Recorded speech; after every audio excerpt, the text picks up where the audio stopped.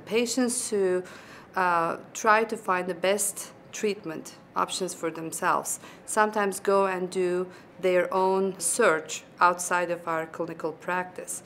I have a case where a very informed, very um, educated woman has gone through extensive testing in different institutions throughout the United States. Her tumor was um, tested in these different places and got different results. And it was very difficult by the time that the patient came to my care and trying to put all this data together and make it make sense.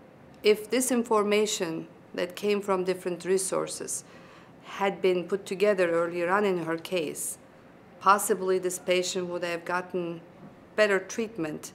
In sharing the information, bringing all these resources together to be able to put all of this out there is going to actually really help the patient.